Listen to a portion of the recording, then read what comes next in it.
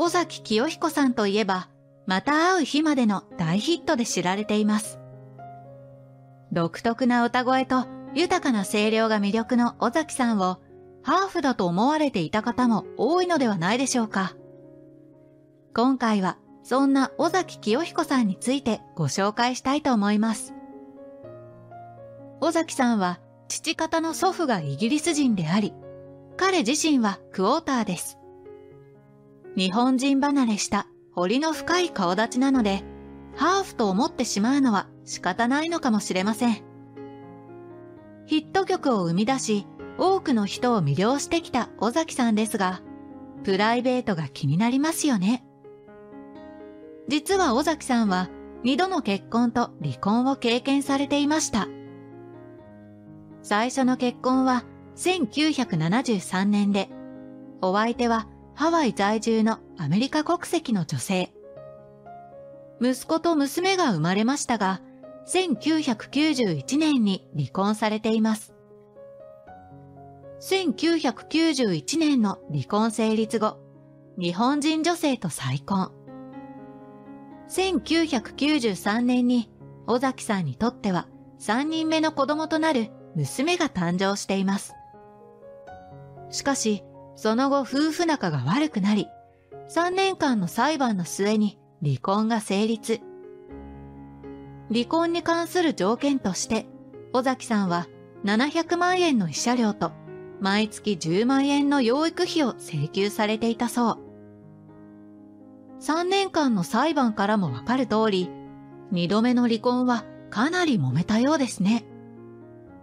離婚の原因はわかりませんが、裁判中の尾崎さんは精神的にかなりしんどかったのではないかと思いますが、離婚後も子供たちから父として慕われ、いい関係を築かれていたようです。しかし、2012年5月、尾崎さんは肝臓がんにより69歳で亡くなられています。実は亡くなられた2012年に失踪という報道がされていたことをご存知ですか？週刊誌の報道が発端となって、テレビでも大々的に取り上げられ、加熱報道の末に自殺説まで出るほど。その状況に黙っていられなかった尾崎さんの兄弟が、病気療養のために入院していることを明らかにしました。身の回りのことは自分でできる状態だという説明もあり、失踪はデマだと判明します。入院で連絡が取りづらくなったことが失踪と言われる原因になったのかもしれませんね。この報道後、ネット上でライブハウスで尾崎さんに偶然会ったと明かした人がいて、治療経過がいいのだと思われていたのですが、報道からわずか1ヶ月後、尾崎さんは亡くなられました。彼の最後を見とったのは、一人目の妻と息子さん。離婚後もハワイ在住の一人目の妻と子供たちとは交流を持っていて、療養する尾崎さんの支えだったようです。息子さんは尾崎さんの病気判明後に仕事を辞め、母と共に看病をされていました。尾崎さんは息子さんに、お前がいてくれてよかったと言われていて、大きな支えであったことが伺えますね。父を見とった息子さんはインタビューに応じていて、ジョークなどをよく言い、家でも歌を歌ってすごく上手だった、と昔を懐かしみながらも、いなくなったとは思えない、と涙を流されていたそうです。父を思って涙を流す息子さんの様子から、親子関係がとても良好だったことがわかりますよね。ではここで尾崎さんの経歴を見ていきましょう。本名、尾崎清彦。生年月日、1943年4月1日。出身地、東京都渋谷区生まれ、神奈川県茅ヶ崎市育ち。趣味、サーフィン、乗馬、ハーレー収集、ツーリング等。尾崎さんは東京渋谷区でバレエダンサーの両親のもとに生まれました。三人兄弟の次男として育ち、小学校入学頃に神奈川県茅ヶ崎市へ転居。父、茂さんと兄の明彦さんは、クラシックバレエのダンサー、演出家として活躍しました。兄の明彦さんは、青少年のバレエコンクール、ザ・バレコンの実行委員長です。母の玲子さんは、日劇ダンシングチームの一期生として活躍していて、尾崎さんは芸能一家に育ちました。弟さんは神奈川県内で飲食店を営まれているようです。尾崎さんは13歳の時に父に買ってもらったウクレレで中学の同級生6人とハワイアンバンドを結成。ウクレレは教則本を見ながら習得されていました。箱根ホテル小脇園が募集したバンドオーディションに合格して、17歳でセミプロデビューしました。このオーディションの司会を務めていたのは、後にフジテレビアナウンサーとなる露木茂さんです。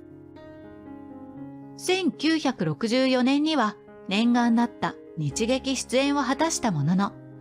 目標を達成したこととメンバーおのおのが忙しかったこともあって解散に至りました。1965年には芸能プロダクション東京ハワイアンズと所属契約。同じプロダクションに所属していたジミー・トキタさんのセカンドボーカル、ギターを務めた時期もありました。1967年にはコーラスグループザ・ワンダースを結成。洋楽カバーやテレビ主題歌などをリリースし、TBS や NHK のポップス番組にも出演しました。また、ジ・エコーズ名義でウルトラセブンの主題歌、挿入歌も担当しています。1969年に解散していましたが、尾崎さんのシングル、また会う日までのレコーディングには、元メンバーが再集結してバックコーラスを務めました。メンバーのバックコーラスは心強い応援だったのではないかと思います。尾崎さんは1970年に別れの夜明けでソロデビュー。ダイナミックな歌唱は音楽業界で話題となりました。しかし、その年の9月、タクシー乗車中に多重事故に巻き込まれてしまいます。入院生活は4ヶ月にも及び、デビュー曲の宣伝活動は全くできなかったそう。不運な事故を乗り越えた尾崎さんは、1971年にまた会う日まで、さよならをもう一度、雪が降る、愛する人は一人と次々にヒット曲を出しました。2枚目のシングル、また会う日までは、売り上げ100万枚を突破し、第13回レコード大賞、第2回日本歌謡大賞を受賞。さらに、初出場の NHK 紅白歌合戦では白組トップバッターを務めていて、1971年、1972年、1990年と計3回出場されています。その後はポップス番組に出演し、映画音楽やジャズを披露。アニメ主題歌を歌われていたこともあり、1990年代からはジャズ、ハワイアン、カントリー音楽のライブやコンサートを、窮地の中の演奏家たちと共に開催されていました。亡くなられた後の2012年12月、第54回日本レコード大賞では、日本作曲家協会から特別功労賞が贈られました。この受賞からも、尾崎さんが残した楽曲や功績が素晴らしいことが伝わります。